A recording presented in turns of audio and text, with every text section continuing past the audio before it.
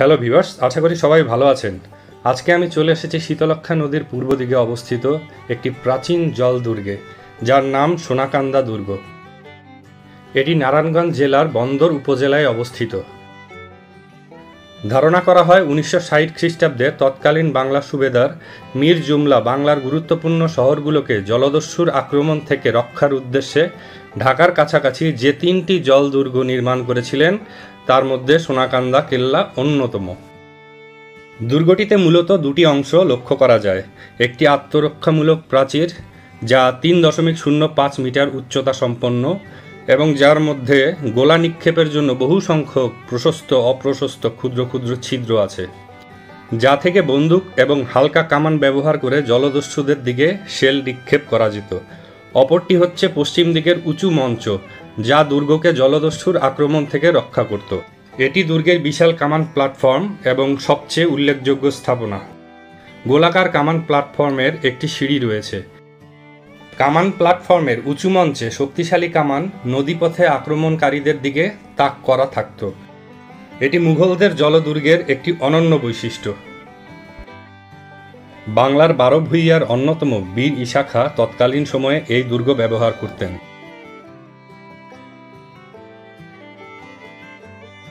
মোঘল আমলে নির্মিত এই কেল্লাকে ঘিরে নানা ধরনের কল্পকাহিনী প্রচলিত রয়েছে। কথিত আছে, রাজা কেদার রায়ের মেয়ে স্বর্ণময়ী লাঙ্গলবন্দে পুণ্য স্নান করাকালীন সময়ে একদল ডাকাত তাকে অপহরণ করলে ইশাখা তাকে উদ্ধার করে কেদার রায়ের কাছে ফেরত পাঠাতে চান। কিন্তু মুসলমানদের তাঁবুতে রাত কাটানোর কারণে তার জাত গেছে। এই অভিযোগ এনে স্বর্ণময়ীকে আর ফেরত নেওয়া হয়নি।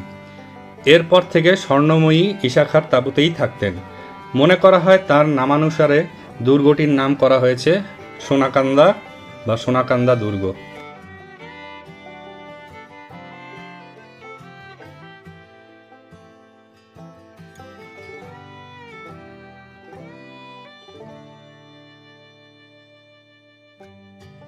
চতুর্ভুজাকৃতির এই দুর্গটির আয়তন ছিয়াশি দশমিক পাঁচ ছয় মিটার থেকে সাতান্ন দশমিক শূন্য মিটার। এখানে অষ্টাভুজাকৃতির চারটি বুরুজ দুর্গের চার কোণে রয়েছে। দুর্গের একমাত্র প্রবেশ তোরণটি উত্তর দিকে।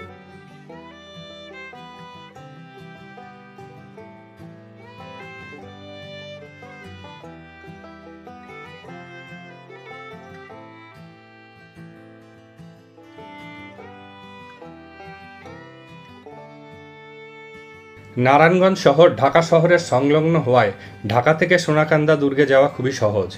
স্থানীয় লোকজন একে বেশিরভাগ কেল্লা নামেই চেনে। সুতরাং আপনি যদি কোনো অসুবিধা খুঁজে পান, তবে সোনাকান্দা দুর্গের পরিবর্তে তাদের কেল্লার কথা জিজ্ঞেস করুন। এতে করে আপনি খুব সহজেই দুর্গটি শনাক্ত করতে পারবেন।